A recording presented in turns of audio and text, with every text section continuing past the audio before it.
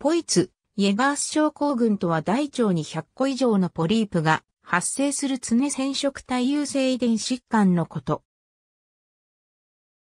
オランダの医師、J.A. プッツ、1921年とアメリカの医師、ハロルド・ジェイアーズが腸管化護種ポリープを主体とする常染色体優性遺伝性ポリポーシスを報告した。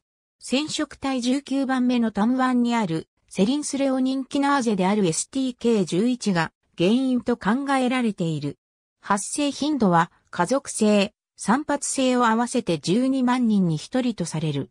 ポイツ、ゼガーズ症候群の患者の中腸造影写真に、腸管に過去主性ポリポーシスを生じる。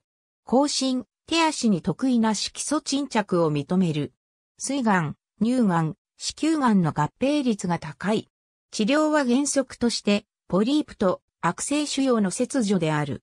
ABC 消化管の病理学第2波2学書院発行。ISBN978 から42億6000万6200 ABCD 南山道医学大辞典第12版 ISBN978 から45億2501万294ステッドマン。S メディカルディクショナリー28ス ISBN978 から07817333908ありがとうございます。